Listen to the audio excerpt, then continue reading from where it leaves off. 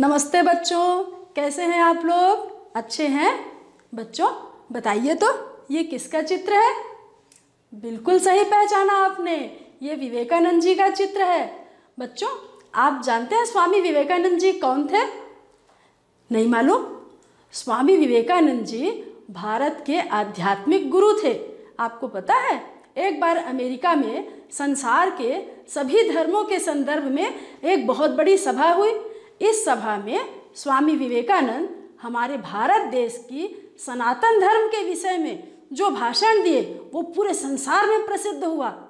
आज हम पाठ 19 साहसी बनो पाठ में उनके बचपन की एक घटना के बारे में पढ़ेंगे।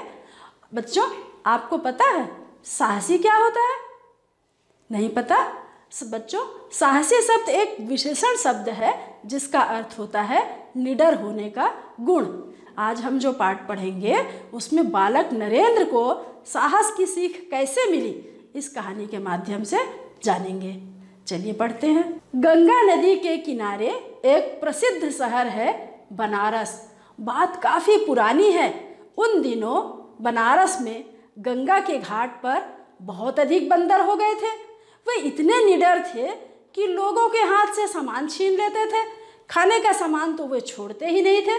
देखिए चित्र में, एक दिन की बात है, नरेंद्र नाम का एक लड़का बाज़ार से वापस आ रहा था। उसने कंधे पर एक झोला लटका रखा था। नरेंद्र थोड़ी ही दूर गया होगा कि एक बंदर उसके पीछे लग गया। बंदर को पीछे आते देख नरेंद्र ने अपनी चाल बढ़ा दी। बंदर भी तेज चलने लगा। बंदर को करीब आते देख नरेंद्र तेज भागने लगा। इस सारे दृश्य को एक सज्जन देख रहे थे। उन्हें नरेंद्र उन्होंने नरेंद्र को भागने से रोका। कहा, भागते क्यों हो? नरेंद्र बोला, क्या करूँ? बंदर पीछे पड़ा है। उस व्यक्ति ने कहा डर कर भागो मत। तुम डर रहे हो, इसलिए वह डरा रहा है। रुको, खड़े होकर हिम्मत से उसका मुकाबला करो। नरेंद्र ने हिम्मत दिखाई। वो खड़ा हो गया। उसके खड़े होते ही बंदर भी खड़ा हो गया। नरेंद्र ने अपना झोला उठाया और मारने दौड़ा।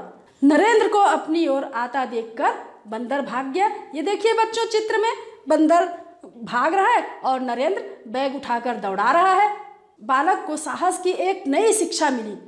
बच्चों, वही बालक नरेंद्र आगे चलकर दुनिया में स्वामी विवेकानंद के नाम से प्रसिद्ध हुआ। ये देखिए आप ये चित्र उनका।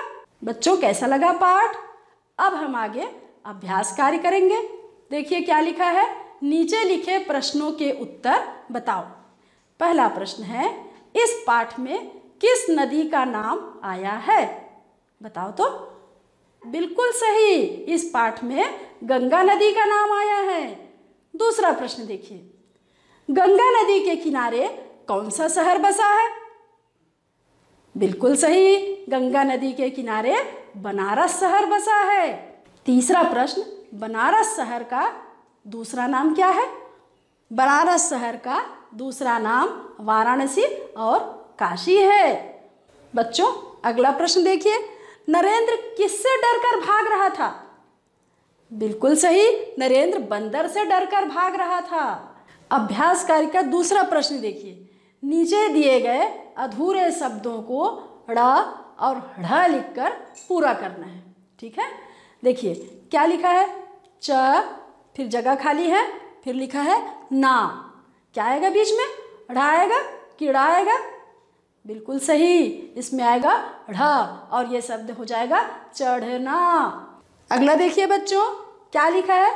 दो, जगह खाली, ना। बीच में क्या आएगा? ड़ा आएगा कि आएगा, बिल्कुल सही ड़ा आएगा और ये शब्द हो जाएगा दौड़ना।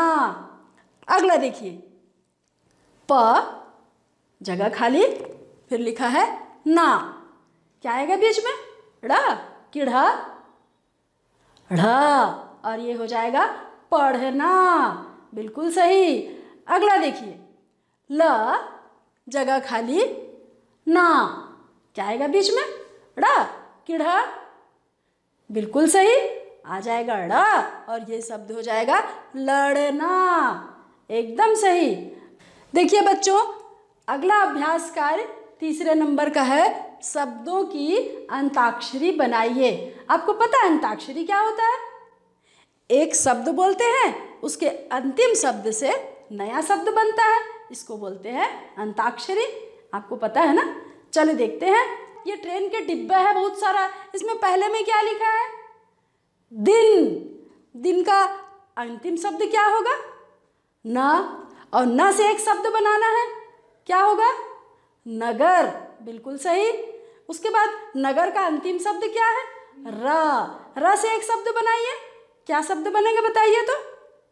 रस्सी। एकदम सही। देखिए, रस्सी का अंतिम शब्द क्या होगा? सी। सी से एक शब्द बनाइए। सीता। एकदम सही। फिर सीता का अंतिम शब्द क्या है? ता। ता से एक शब्द बनाइए तो? ताबीज। ताबीज का अंतिम शब्द क्या है? ज। ज से एक शब्द बनाइए। जल। एकदम सही। जल का अंतिम शब्द क्या है? ल। और ल से एक शब्द बनाइए। क्या होगा? लड़का। इसको कहते हैं अंताक्षरी शब्द। आपका ट्रेन का डब्बा पूरा भर गया शब्दों से। बच्चों, अब मैं आपको दे रही हूँ गृह कार्य। आप इसको अपनी कापी में लिख कर लाएँगे। पहला प्रश्न है, अगर कुत्ता तुम्हारे पीछे दौड़े तो तुम क्या करोगे? सोचना और उसको कॉपी में लिखकर लाना। दूसरा प्रश्न है, स्वामी विवेकानंद भारत के महान पुरुष थे थे ना? हाँ अपने प्रदेश के किसी एक महापुरुष का नाम लिखकर उनका चित्र अपनी कॉपी में चिपकाओगे। ठीक है? अच्छा बच्चों, आज के लिए इतना ही। धन्यवाद।